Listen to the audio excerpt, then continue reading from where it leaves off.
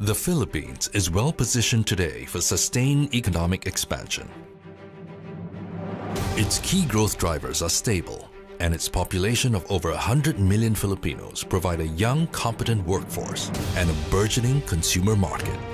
The Manila metropolis has reached its peak. The growth of its population has far outpaced its infrastructure's carrying capacity. Just 70 kilometers away from Manila is the next economic powerhouse of the Philippines, Pampanga. This province will be the strongest counter-magnet of Metro Manila in the near future. One can access opportunities found in Metro Manila without having to live in a congested environment. The Pampanga Megalopolis Plan is a strategic framework that aims to optimize the use of the province's key resources. 218,000 hectares of land and its 2.6 million people. An extensive circumferential road that will connect the key urban centers and outlying towns will commence this year, reducing travel time substantially. Likewise, the Clark International Airport, the 4,500 hectare Clark Freeport Zone, and the 9,000 hectare New Clark City are rapidly expanding.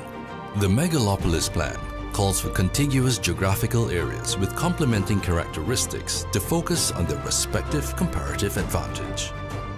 Pampanga does not aim to be another Mega Manila. Its strategy is to disperse economic opportunities, not leaving any of its barangays or communities behind. Its development agenda will always be strategic, inclusive, and sustainable. The fulcrum of the megalopolis is the Central Triangle. It's bounded by Angeles City, where the Clark Freeport Zone is located. The city of San Fernando, which is the administrative capital of the Central Luzon region, and Lubao, the westernmost town closest to the Subic International Seaport. Industrial parks, live-work-play communities, educational institutions, theme parks, recreation and entertainment establishments, hotels, commercial areas, and technology companies would likely gravitate towards Pampanga's triangle. Radiating around the central triangle are four opportunity zones the Aeropolis, Agropolis, Ecopolis, and the Equapolis. The Aeropolis are the twin cities of Angeles and Mabalacat, where the Clark International Airport is located. This will be a logistics hub to ship high-value goods to international markets and host the companies servicing airlines undertaking aircraft maintenance and repairs. The Aeropolis will also be ideal for convention facilities and recreation because of its convenient access to the airport.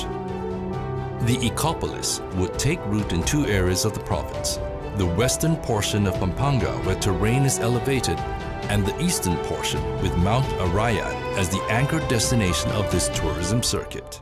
Investments in outdoor sports and adventure facilities, conference centers, artists and craft villages, and boutique hotels shall be encouraged. The Equapolis is the wetlands of Pampanga, located at the southern portion of the province along Pampanga River closest to Manila Bay. This area produces shrimps, fish, and other seafood products, but seeks to diversify into tourism and processing. The Agropolis concept is intended for the numerous farming communities throughout Pampanga. Today, 60% of Pampanga's land area is classified as agricultural, mainly in rice, sugarcane, corn, and poultry. The potential for growth lies in its ability to diversify to high-value crops, adoption of higher-level food technology, and farm tourism. Pampanga in the future will be 22 smart and sustainable cities, a sprawling chain of urban centers punctuated by wide open, green areas for its people to enjoy. The good quality of life in Pampanga is palpable. Fresh air, clean waterways, great cuisine, and peaceful communities that make it an ideal place to raise a family. Pampanga aims to move forward, unafraid of a volatile, uncertain, and complex world order. It is determined to seize its share of opportunities, openly welcoming investors who share its values and aspirations. Let us shape our future together. Invest in Pampanga. Invest Pampanga.